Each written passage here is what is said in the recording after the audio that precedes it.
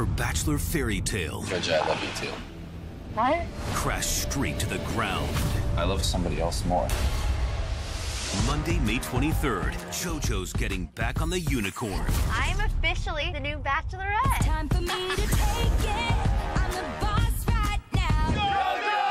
What's wrong with being confident? She's rewriting her happy ending. Bring on the men.